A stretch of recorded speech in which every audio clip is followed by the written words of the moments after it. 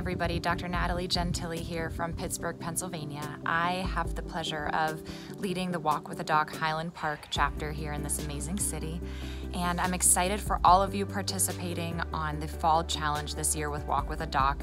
It's such an amazing opportunity for you to get motivated, to keep moving, and for you to have that healthy competition with some other teammates around the world.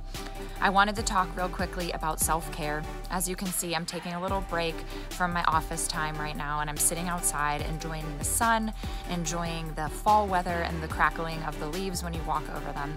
And this time that you take for self care is so important for us to be able to take care of others, we really have to have our cups full and feel totally fueled so that we can take care of other people and not, you know, lose our own spark. So, what are ways that you can keep your spark going and really reignite um, with not a lot of effort?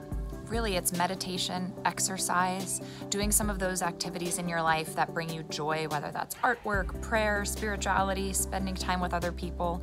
One thing that I really like to do as my tool to, to kind of recenter, especially throughout the day when I'm taking care of others, is just take a big, deep breath. So take one with me.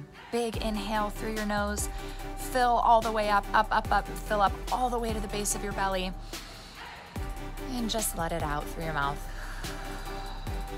When we take those deep breaths and take those little moments, they really add up over time. So remember self care throughout this challenge and keep going, keep moving. Proud of you.